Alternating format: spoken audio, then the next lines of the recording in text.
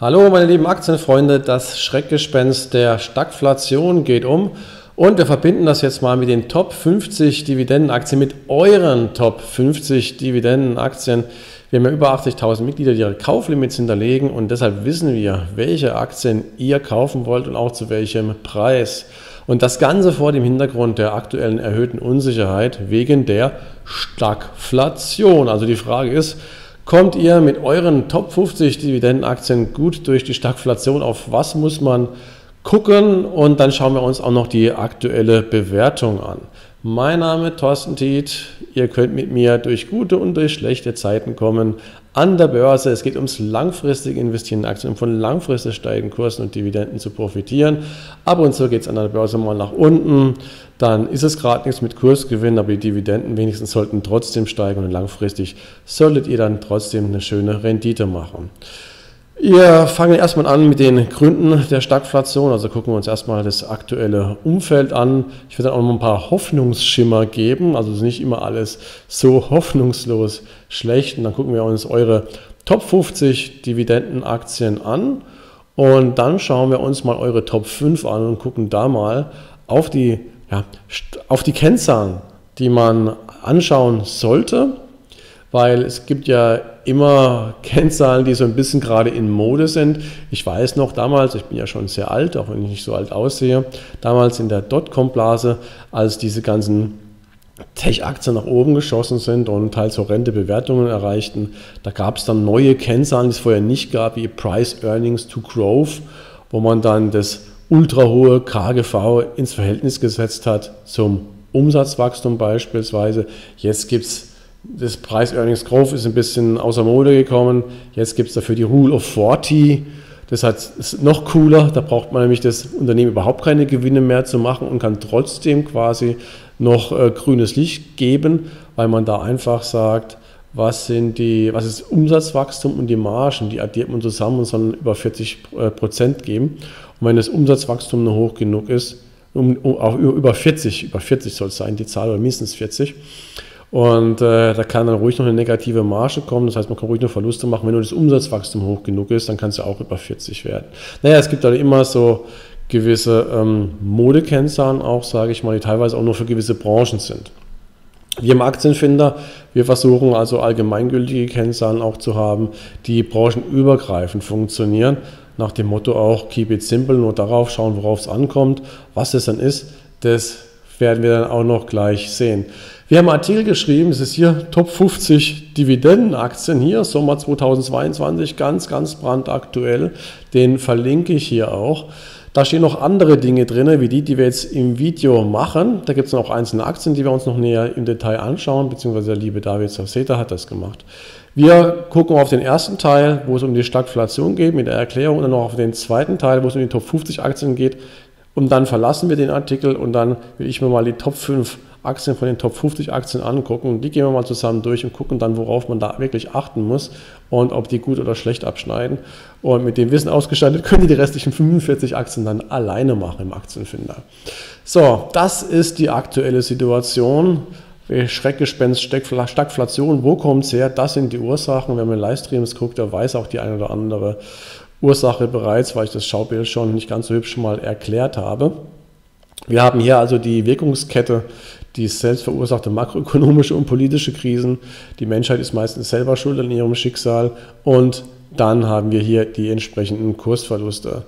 Das, oder der Problemkomplex, den kennt ihr, fangen wir mal hier bei den Lockdowns an im Rahmen von Corona, die zu Lieferproblemen geführt haben, also diese Lieferkettenproblematiken. Es ist wahrscheinlich auch jedem bekannt. Der letzte Shanghai, der letzte Lockdown war in Shanghai, ist jetzt aber nicht mehr akut. Das heißt, das ist jetzt schon mal was Positives.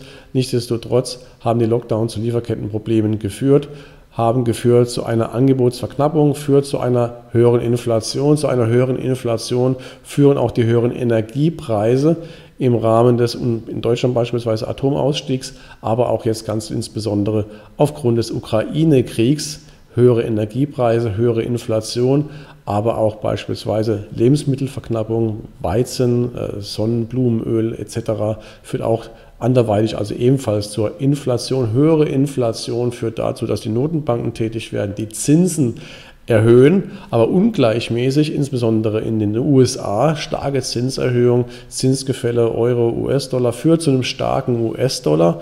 Ich habe vor kurzem jetzt erst eine Insta-Story gemacht und da habe ich mal die Frage gestellt, wenn ihr vor einem Jahr für 10.000 US-Dollar, also einfach nur 10.000 US-Dollar, für 10.000 US-Dollar Aktien gekauft hättet und die hätten sich überhaupt nicht bewegt, also überhaupt keine Kursänderung, wie viel Gewinn hättet ihr denn gemacht in Euro umgerechnet, wo in US-Dollar die Aktien sich nicht bewegt hätten, die Kurse? Antwort 1400 Euro Kursgewinne in Euro, nur weil der US-Dollar stärker geworden ist. Also wir haben ja massive Verschiebungen hier im Währungsgefälle.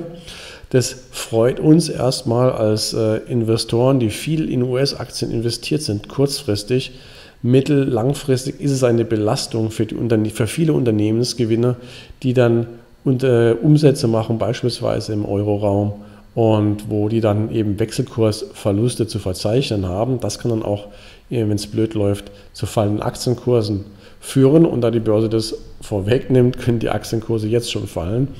Wir haben die Zinserhöhung, die dazu führt, dass wir eine, dass die Staatshaushalte zusätzlich belastet werden wenn dann die Zinsen äh, zu, oder die, die, Schulden zu verlängern sind, also umzuwälzen, umzuschulden ist, ist ebenfalls eine Belastung, Stichwort Italien. Und das Ganze führt dann hier zu einer Geldexpansion. Und dann haben wir auch noch diese Geldexpansion, Moment, die ist jetzt äh, von den Notenbanken in erster Linie äh, ins Leben gerufen worden, um eben die Konjunktur, ob es jetzt ein Auftrag war oder nicht, sei dahingestellt. Es gibt unterschiedlich. Eine EZB hat eigentlich den Auftrag nicht, der kann die Konjunktur eigentlich egal sein. Aber faktisch ist es so, dass sie immer mehr Geld in den Markt geschleudert haben.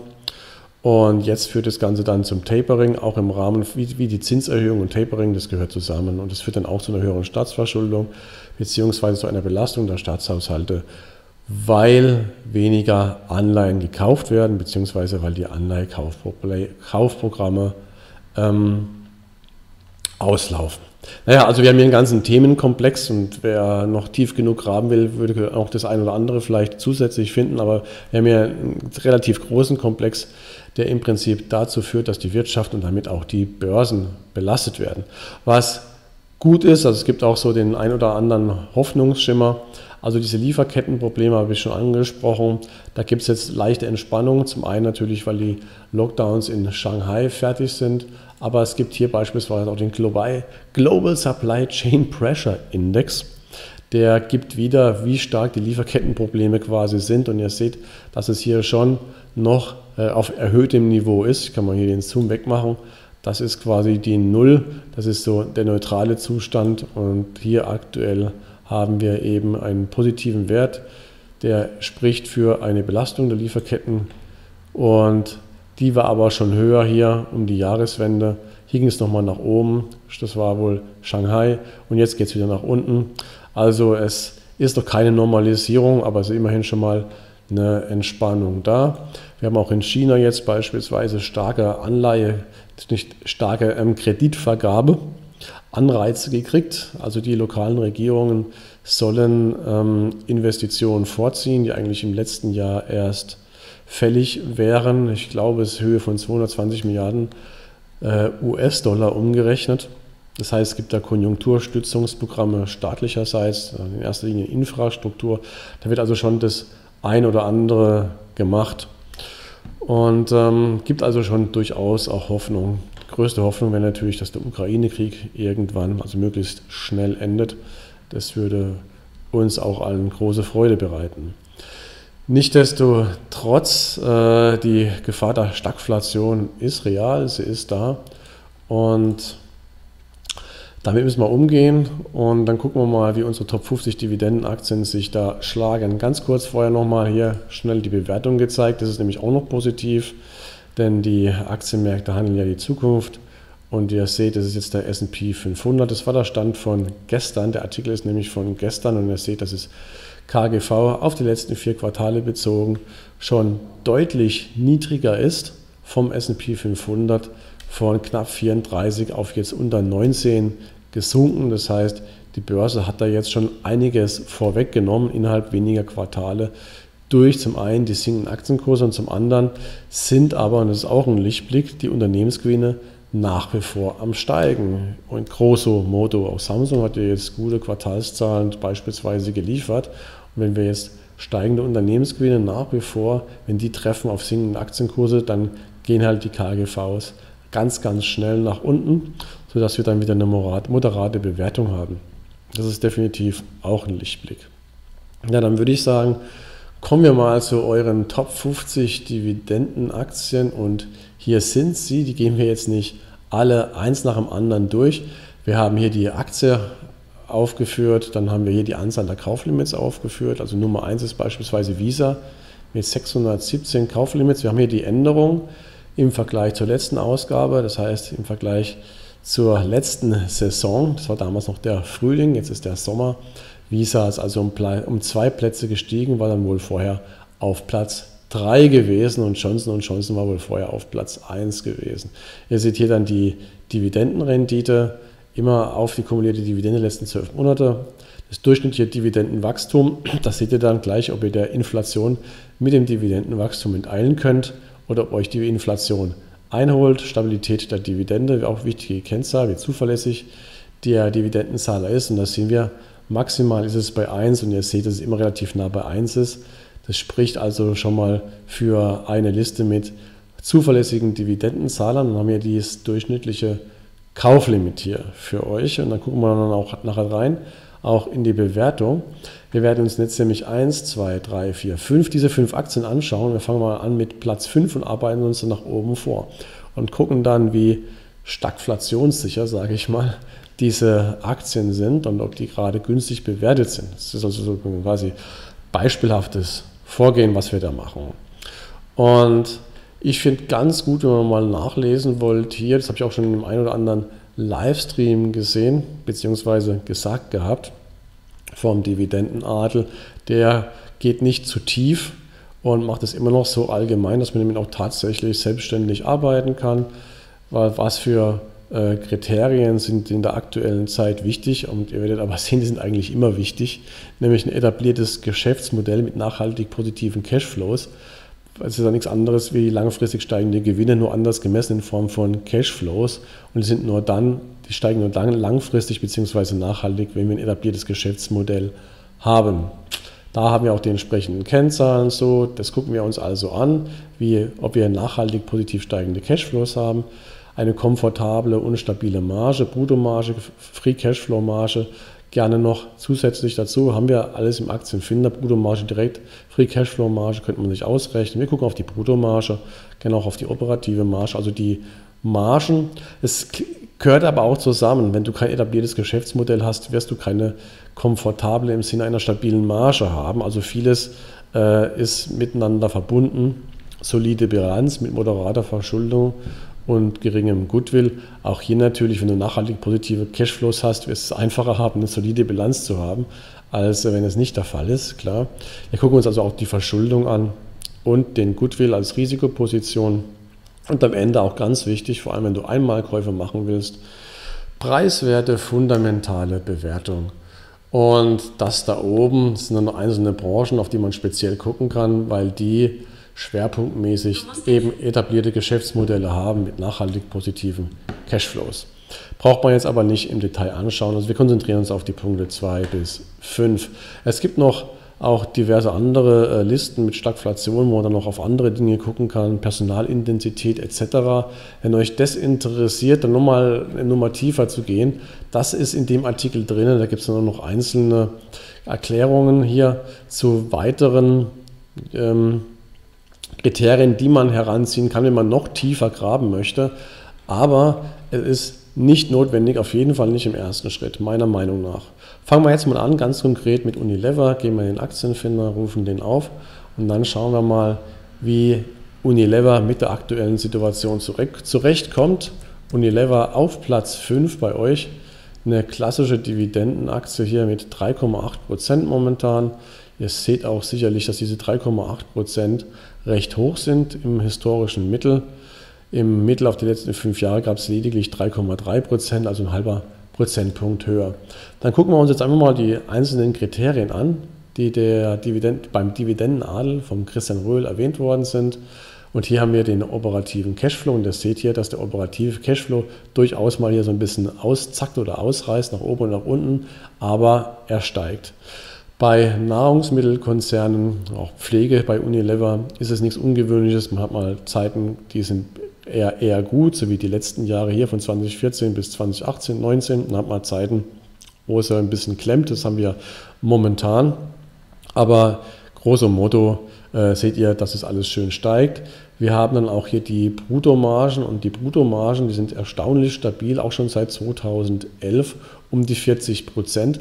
Ihr werdet sehen, dass es andere Branchen gibt, wo die Margen deutlich höher sind, gerade Software beispielsweise, wo sie sein, deutlich höher sein können, muss ich sagen. Aber 40 Prozent ist durchaus äh, noch in Ordnung, vor allem weil auch operativ immer noch einiges hängen bleibt, knapp 20 Prozent, auch hier relativ stabil, kann man sagen. Also von da aus finde ich grünes Licht. Da gehe ich jetzt nicht mal auf Kennzahlen ein. Wir haben es da oben auch als Kennzahlen, aber ich denke, hier reicht schon rein die visuelle Kontrolle aus. Dann kann man hier unten, kommt, da kommt sofort das nächste, nämlich die solide Bilanz. Was heißt eine solide Bilanz? Schulden. Die Schulden dürfen nicht zu einer starken Belastung führen des Unternehmens. Die müssen auch getilgt werden können und in Zeiten steigender Zinsen ist eine hohe Schuldenlast natürlich schlecht. Wenn wir uns das Ganze hier anschauen, dann sehen wir jetzt erstmal absolut 25 Milliarden britische Pfund Schulden. Ist das viel oder ist es wenig? Das kann man in zwei Verhältnisse setzen. Einmal ins Verhältnis zum freien Cashflow. Da weiß man dann quasi, wie hoch die Tilgungskraft ist. Freier Cashflow abzüglich Dividenden. Äh, beim freien Fresh Cashflow genau abzüglich Dividenden, da kann man die Tilgungskraft ausrechnen. Und wichtig ist hier vor allem, ich mache mal die Schuldenquote weg, dass dieser freie Cashflow hier, beziehungsweise das ist schon die Tilgungskraft, Entschuldigung, alles ist hier angegeben, Tilgungskraft, freier Cashflow, Dividenden. Nochmal, um Missverständnissen vorzubeugen, die Tilgungskraft ist der freie Cashflow abzüglich den Dividenden, weil das das ist, was übrig bleibt, nachdem alles quasi bezahlt wurde, laufende Kosten, Investitionen und die ausgeschütteten Dividenden auch schon abgezogen sind. Und dann seht ihr, wenn wir das hier ins Verhältnis setzen, Tilgungskraft knapp 2 Milliarden, verzinste Schulden 25 Milliarden. Das wäre also so ungefähr 13, 14 Jahre wird es dauern, theoretisch, bis Unilever seine Schulden getilgt hätte. Das wird vermutlich niemals komplett passieren.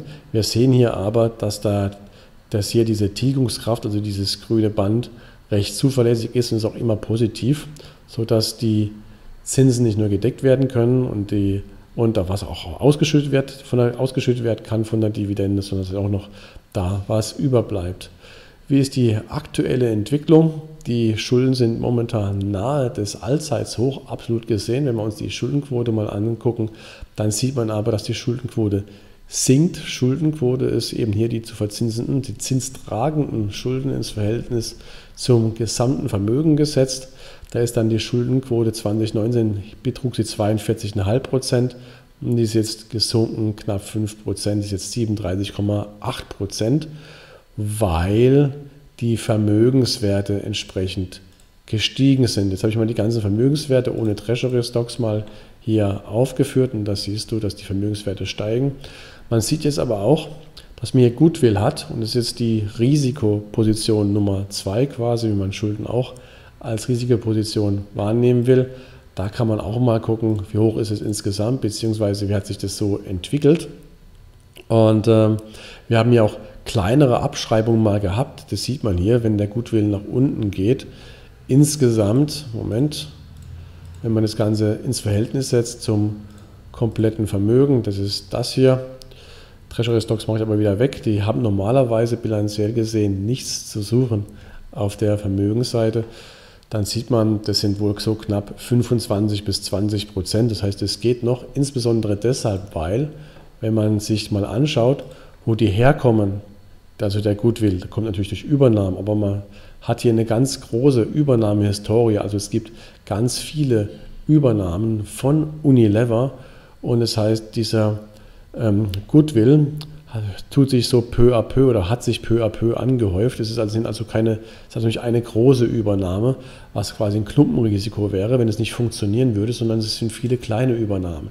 Ist also nicht so wie jetzt beispielsweise bei Altria, wo sie sich einiges haben kosten lassen für Jule und dann Milliarden abschreiben musste, weil genau dieser Deal nicht funktioniert hat.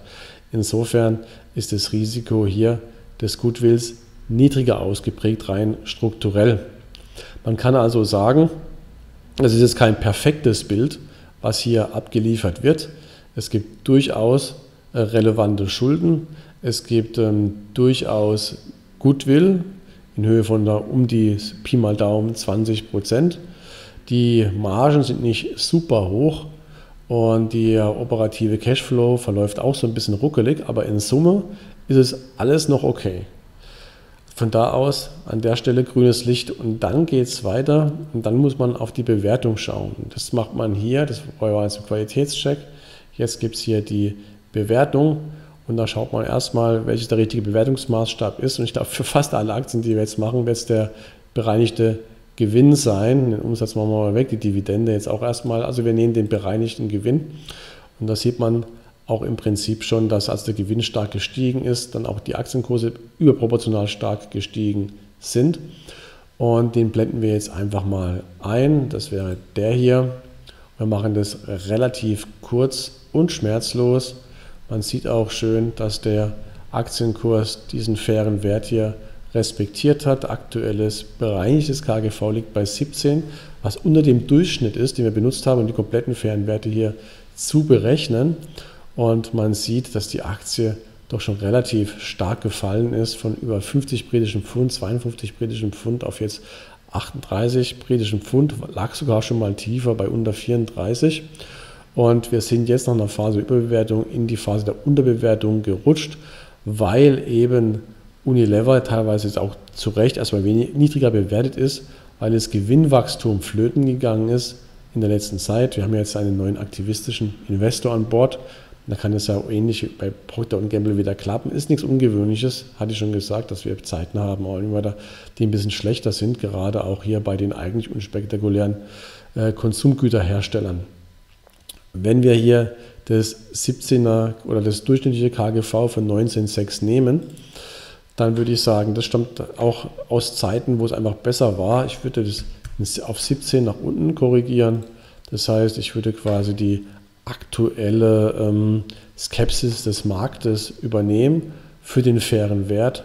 Und dann nehme ich für die Einschätzung, mit was für einer Rendite ja kurz- bis mittelfristig zu rechnen ist, dann den fairen Wert des nächsten geschätzten Geschäftsjahres. Gerne den ziehe ich dann heran und der lege dann bei knapp 40 britischen Pfund. Und dann sieht man hier aufs Jahr, wäre das eine Rendite über die eineinhalb Jahre von 6,2 Prozent.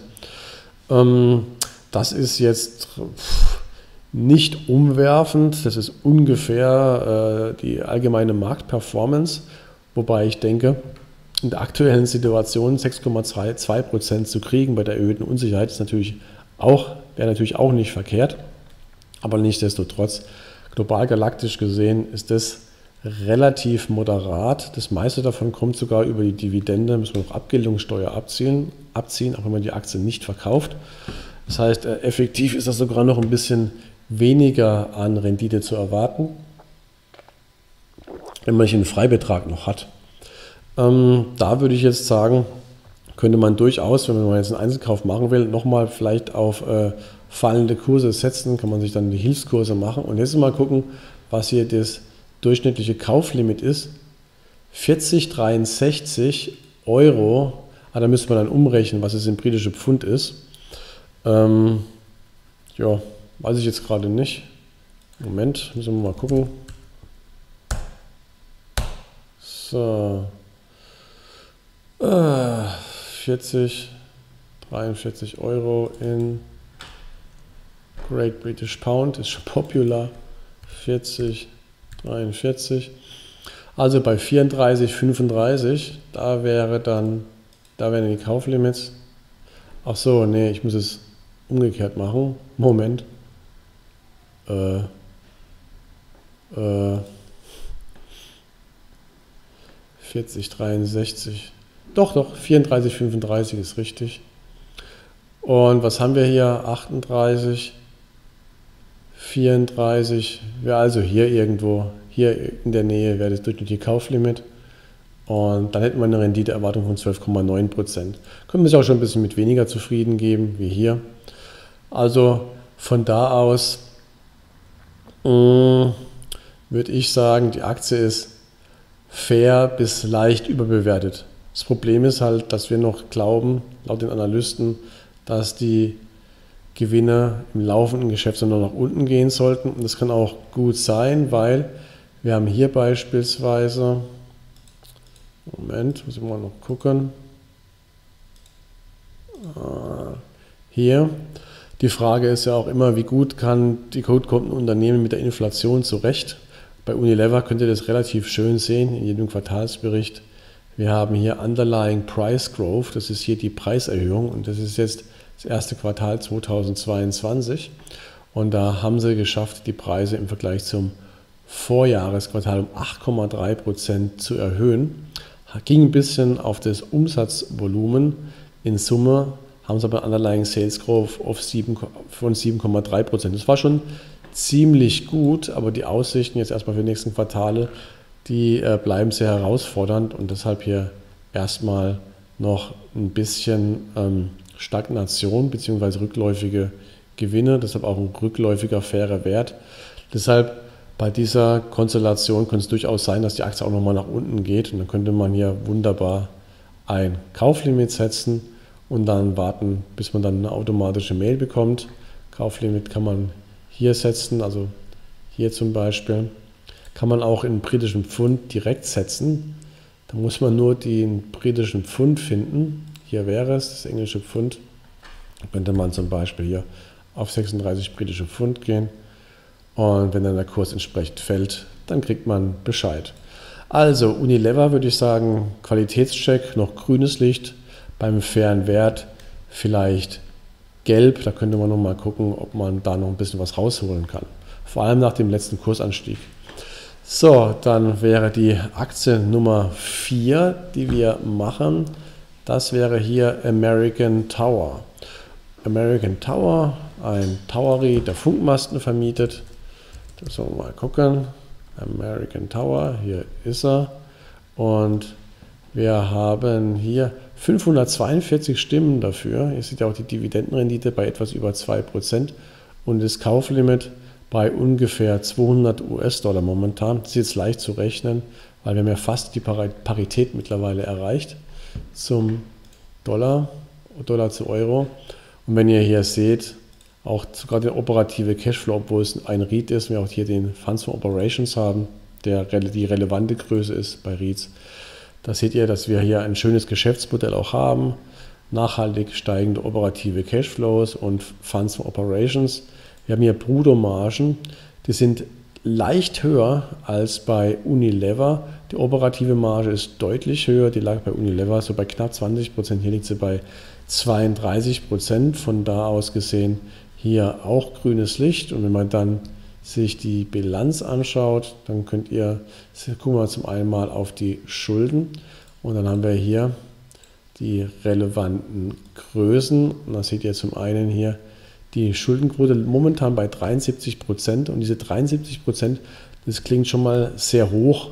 Bei REITs allerdings ist die Schuldenquote immer sehr hoch, weil die müssen ja gesetzlich vorgegeben 90 Prozent des Net Taxable Incomes, des zu versteuernden Einkommens, Ausschütten an Dividenden, was ja auf der einen Seite attraktiv macht, ihnen auf der anderen Seite aber erschwert, eine solide Bilanz zu haben. Deshalb geben die auch immer wieder neue Aktien aus, auch wenn es hier nicht allzu viele sind, um sich hier einmal durch Eigenkapital zu finanzieren und hier einmal durch Fremdkapital zu finanzieren, indem sie die Schulden erhöhen. Hier aber auch wichtig die Tilgungskraft und ihr seht hier, dass die Tilgungskraft durchgehend positiv ist. Auch wenn, wenn man das jetzt in Bezug zueinander setzt, sie doch sehr niedrig erscheint. Aber wir haben eben ein sehr zuverlässiges Geschäftsmodell. Insofern, also hier würde ich sagen grünes Licht, hier auch grünes Licht. Ähm, hier, da muss man gucken, wie die Einnahmen jetzt sind, um noch ein bisschen tiefer zu graben. äh, insbesondere im Zusammenhang mit der Inflation. Denn die Inflation kann ja auch dazu führen, dass die Zinslast steigt, was dann zu einer entsprechenden Belastung des Ergebnisses führen würde. Und da habe ich mal in den Jahresbericht geschaut und dann sieht man hier, dass die Vermietungen einen eingebau eine eingebaute Preiserhöhung haben. Also die Mietklauseln haben eine, für diese Sendemasten haben eine eingebaute Preiserhöhung. Und zwar zum einen Teil fix und zum anderen Teil inflationär. Und äh, dieses Fixe, und das sind durchschnittlich 3% in den USA, wo Jahr für Jahr dann die Miete steigt, das ist ja in den USA vorrangig so geregelt in den Mietverträgen und diese inflationäre, dass man sich an der Inflation orientiert, das ist in erster Linie in den, auf den internationalen Märkten außerhalb der USA. Und wenn man jetzt mal schaut, wo die ihre Umsätze machen, dann sieht man, dass United States 55 Prozent der Umsätze in den USA gemacht werden. Und da haben wir so diese durchschnittlichen Mietsteigerungen in Höhe von 3 Prozent. Und jetzt haben wir jetzt gerade ähm, Inflation in Höhe irgendwo zwischen 7 und 8 Prozent. Das heißt, American Tower kommt, das bisschen US-Geschäft von American Tower ist nicht ausreichend inflationsgeschützt. Das heißt, das ist erstmal was Negatives. Die restlichen Umsätze, die sind äh, besser inflationsgeschützt.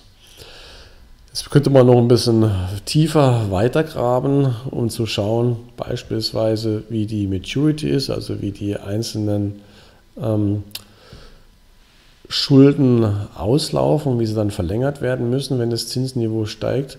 Können Sie auch nochmal noch, auch noch mal tiefer graben an einer anderen Stelle und zu gucken, inwiefern die Inflation sich tatsächlich auswirkt auf American Tower weil die Inflation wird ja vor allem durch Energiepreise getrieben und Lebensmittel. Lebensmittel braucht American Tower wahrscheinlich nicht.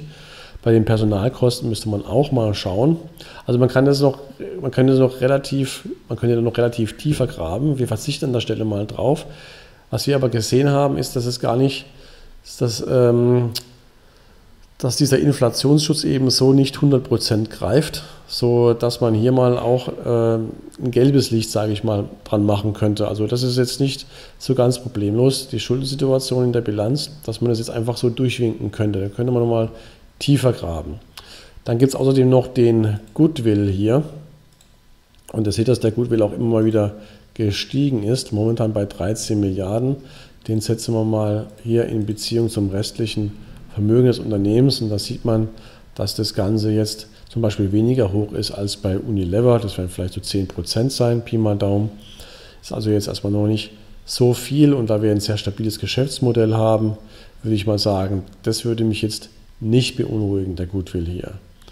Dann gehen wir mal zur Bewertung und das sehen wir hier, sieht man auch, was das langfristig für eine schöne Aktie gewesen ist. Man sieht aber auch, dass der aktuelle Kurs von 257 US-Dollar, dass wir den schon hier bereits erreicht hatten im Jahr 2020, also vor zweieinhalb Jahren, haben wir jetzt so ein bisschen einen volatilen Seitwärtslauf gerade.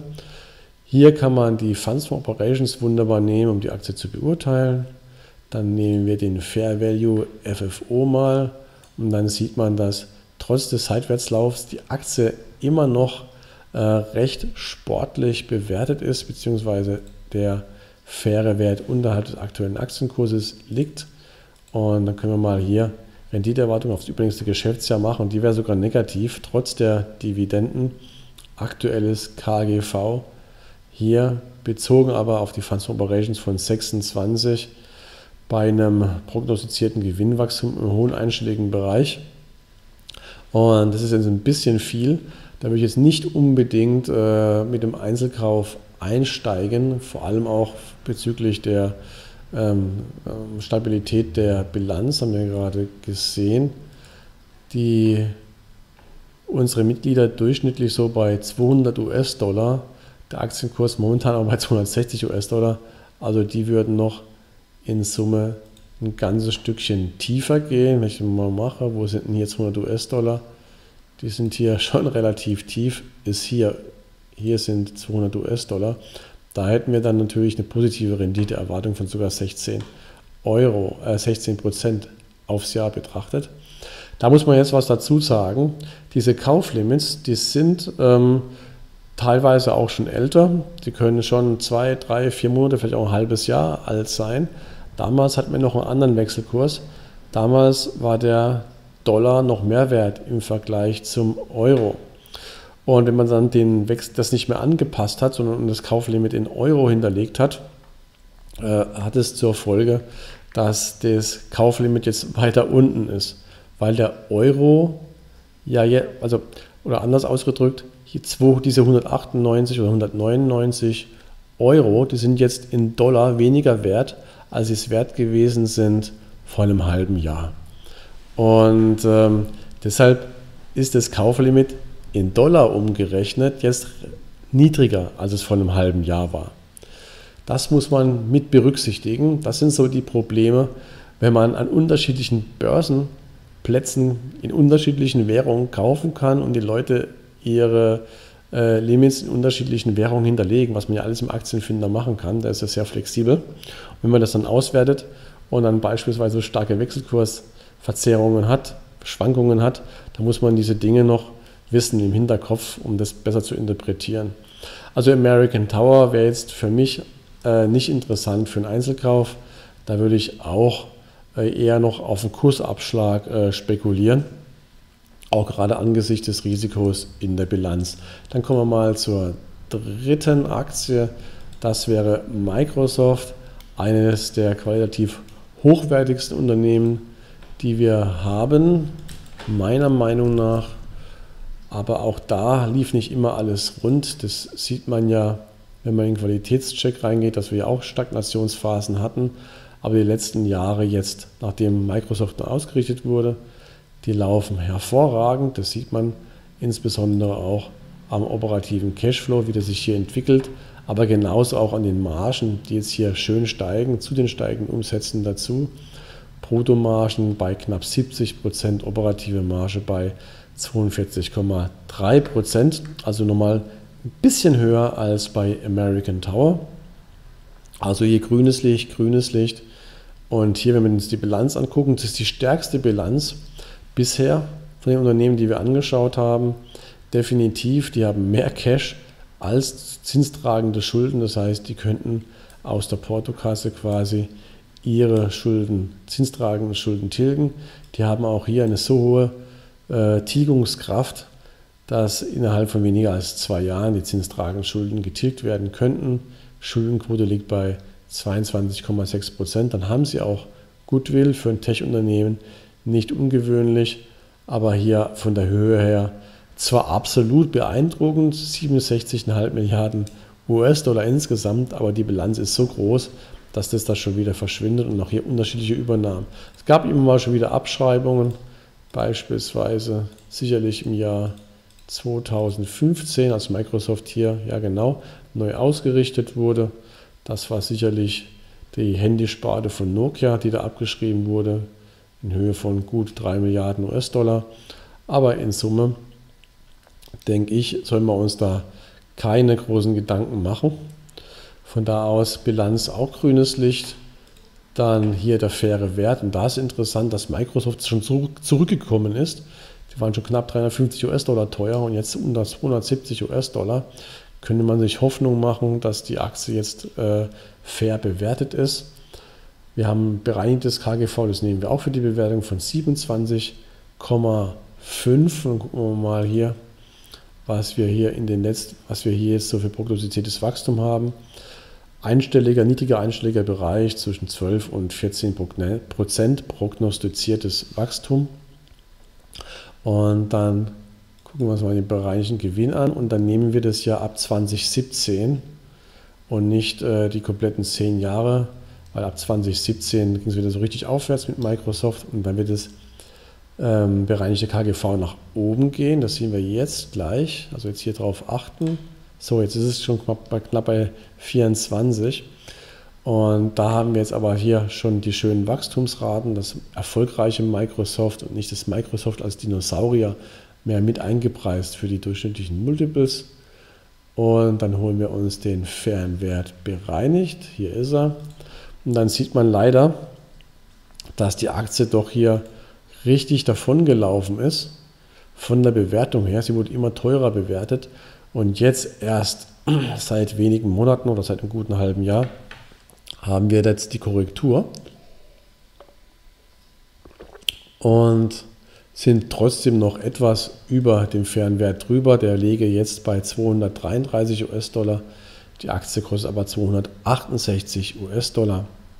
Gute Nachricht ist, wenn man ein bisschen Sitzfleisch hat, kann man schon im nächsten Geschäftsjahr basierend auf den Schätzungen mit einer positiven Rendite rechnen, wären dann aber in Anführungszeichen nur 6,4 Prozent. Auch hier könnte man nochmal, bitte Sie es vielleicht anbieten, Moment, ein Kauflimit zu setzen, denke ich, in der aktuellen volatilen Situation. Vor kurzem gab es die Aktie beispielsweise mal für unter 250 US-Dollar, 248 US-Dollar und wenn man da zugeschlagen hätte, wäre die Renditeerwartung schon zweistellig gewesen bei 10,6 Prozent. Mal gucken, was wir für Kauflimits haben. 210 US-Dollar ist natürlich sehr, sehr günstig. Also ist schon hier unten irgendwo. Ob die Aktie so tief fällt, sei mal dahingestellt. Ich habe ja erklärt, warum die US-Dollar-Kauflimits tendenziell jetzt nochmal oder tendenziell zu tief sind aufgrund der Wechselkurse. Also hier überall grünes Licht. Hier beim Fernwert würde ich sagen ähm, gelb. Dann gucken wir mal zur Nummer 2, das ist Johnson Johnson. Absolute Stabilität der Dividende mit 1,0. 564 Kauflimits, also 18 mehr als Microsoft, war die alte Nummer 1 gewesen. Und schauen wir uns kurz an. Und dann gehen wir hier auch in den Qualitätscheck rein. Und dann sieht man hier auch, ein nachhaltiges, stabiles Wachstum ist gegeben, tatsächlich bei Johnson Johnson vom operativen Cashflow, genauso auch wie vom Gewinn oder vom freien Cashflow. Ähnlich wie bei Unilever hakelt das Ganze mal ein bisschen. Auch hier wird gekauft und teilweise auch verkauft, was das Ganze auch wieder so ein bisschen beeinflusst. Aber im Großen und Ganzen, denke ich mal, ist die richtige Richtung, die hier eingeschlagen wird. So, ich stecke mir gerade mal was zu trinken ein weil ich einen trockenen Hals habe. Und dann gehen wir zu den Margen und gucken wir mal, wie hoch die sind. Wir haben hier Margen von 68 Prozent, also deutlich beispielsweise höher als bei Unilever, aber unterhalb von Microsoft. Die operativen Margen, die liegen auch noch höher als bei Unilever. Die machen ja beide, haben ja beide auch Pflegeprodukte, sind also teilweise direkte Konkurrenten. Liegt aber deutlich höher hier mit ungefähr 6 bis 7 Prozent. Und äh, von daher würde ich sagen, ja auch grünes Licht. Gucken wir uns mal die Stabilität, die Solidität der Bilanz an. Auch hier erstmal die Schulden anschauen. Man sieht ja Schuldenquote von lediglich 15 Prozent. Ganz stabile Tilgungskraft hier, das grüne Band. Wenn wir hier gucken, Tilgungskraft 8,5 Milliarden, verzinste Schulden 33 Milliarden. Das heißt, in ungefähr vier Jahren könnte man aus den laufenden Erträgen trotz Dividendenzahlung, trotz Investitionen die Schulden tilgen. Man könnte sie aber auch fast aus der Portokasse bezahlen, nicht ganz. Äh, liquide Mittel in Höhe von etwas über 30 Milliarden im, Vergleich zu 33 Milliarden zinstragenden Schulden. Also von daher alles gut. Dann haben wir auch noch den Goodwill, wird immer wieder was gekauft und verkauft in Höhe von 35 Milliarden. Aber ihr seht, wenn ihr das in Vergleich setzt, hier komplett zu dem Bilanzvermögen, relativiert sich das wieder. Und auch hier haben wir ähnlich wie bei Unilever nicht eine einzige große Übernahme, sondern immer wieder viele kleinere Übernahmen, sodass sich das Abschreibungsrisiko verteilt. Von daher auch grünes Licht. Dann kann man mal uns sich den Fernwert angucken. Was sind denn da die Kauflimits? 143 Euro, also 145 Dollar wäre das dann irgendwo. Der aktuelle Kurs 178,50 US-Dollar. Auch da nehmen wir den bereinigten Gewinn und dann legen wir gleich den Fernwert drüber. Sieht man, wie es hier aussieht. Zoomen wir ein bisschen rein, machen den weg. Und da sieht man, dass die Aktie momentan, sie ist sehr gut gelaufen, sie ist die ganze Zeit gestiegen, hat keine Korrektur hinter sich eine echte Qualitätsaktie, aber entsprechend auch noch etwas teuer. Keine positive Renditeerwartung erstmal. aufs nächste Geschäftsjahr, auf die Schätzung, beziehungsweise doch dank der Dividende in Höhe aber nur von 1,8 Prozent. Hier auch ein Fall für ein Kauflimit. Also wir hatten 145 Dollar, also hier irgendwo die Kauflimits, man sieht auch wieder extrem niedrig, hatten wir zuletzt hier gehabt im Spätjahr 2020. So tief würde ich jetzt mal nicht gehen. Ich werde so tief gehen, dass ich irgendwo ein zweistelliges vielleicht oder wenigstens so 8% Renditeerwartung habe. Das so hier in der Größenordnung wäre jetzt 9,1%. Das wären dann bei 161, 160 US-Dollar. Da denke ich, wäre ein gutes Kauflimit. Ist auch nicht so unrealistisch, dass man das mal erreichen kann. Hier Ende des letzten Jahres von einem guten halben Jahr, da war die Aktie sogar noch günstiger zu haben. Also, dann würde ich mal sagen, grünes Licht beim Qualitätscheck überall, gelbes Licht beim fairen Wert. Für einen Einmalkauf immer, wenn man in, über Aktiensparpläne investiert, das sieht anders aus. Da kann man einfach kaufen mit dem Cost-Average-Effekt regelmäßig. Das ist dann kein Problem. So, jetzt kommen wir zu Nummer 1. Das wäre Visa. Kauflimit würde ich mal sagen bei 165 US-Dollar. 617 Stimmen. Dividendenrendite relativ mickrig mit 0,7 Prozent. Deshalb kann die Aktie aber trotzdem fair bewertet sein. Schauen wir mal. So, man sieht auch hier, wir haben tatsächlich bei aktuell 203 US-Dollar, da waren wir auch schon mal Anfang des Jahres 2020. Das heißt, wir haben hier auch einen Seitwärtslauf. Bevor wir in die Bewertung gehen, gucken wir kurz mal an, ob wir ein nachhaltiges Geschäftsmodell haben, was sich an nachhaltig steigenden Gewinn und Cashflows manifestiert. Würde ich mal sagen, ist der Fall. Dann haben wir hier die Margen 77,5% Bruttomarge und davon geht relativ wenig weg zur operativen Marge. 67%, das ist glaube ich Rekord von den fünf Aktien, die wir uns angeschaut haben und das Ganze auch noch recht stabil, also grünes Licht. Dann können wir uns die Bilanz angucken und da sieht man auch sofort, dass die Schulden kein Problem sind. Die Schulden sind zwar, liegen zwar bei 21 Milliarden, aber die Tilgungskraft liegt bereits bei 12 Milliarden. Keine, 12, keine zwei Jahre Schon wären die Schulden rechnerisch weggetilgt. Die Tilgungskraft ist auch recht stabil. Außerdem haben wir auch liquide Mittel. Wir haben ebenfalls Goodwill von diversen Übernahmen, aber auch hier würde ich mir keine zu großen Sorgen machen. Da sich das Ganze relativiert im Vergleich zum Gesamtvermögen. Man kann da auch immer noch mal kurz anschauen, was so die gesamten großen Akquisitionen gewesen sind und wie sich das aufgeteilt hat, um noch besseres Gefühl zu kriegen. Hier wurde zum Beispiel Visa Europe übernommen. Habe ich nachgeschaut. Vorher hatten die noch keine Schulden, danach haben sie Schulden gemacht. Von meiner Seite aus aber auch hier grünes Licht, sodass man dann gleich zur Bewertung springen kann. Und da gehen wir mal ebenfalls, nehmen wir ebenfalls den bereinigten Gewinn hier. Wir haben hier eine kleine Delle gehabt, eine Corona-Delle weil viele Kreditkartenzahlungen beispielsweise auch Geschäfts, äh, Geschäftszahlungen sind. Und bei Corona ging es alles ein bisschen zurück. Weniger Hotels, weniger Reisen allgemein und so weiter. Aber man sieht, was nennt man bereits alles überwunden. Holen wir uns mal den fairen Wert bereinigt rein. Und dann sieht man tatsächlich, das ist jetzt mal positiv, wer hätte es gedacht, dass wir da beim aktuellen Aktienkurs. Dank der Korrektur, also wir waren schon bei 250 US-Dollar, liegen jetzt bei 200 US-Dollar, dass wir jetzt relativ nah am fairen Wert tatsächlich schon angelangt sind und wir eine entsprechend hohe, weil die Gewinne weiter steigen sollen, positive Renditeerwartungen haben, sogar 15% schon auf die nächsten zwölf Monate.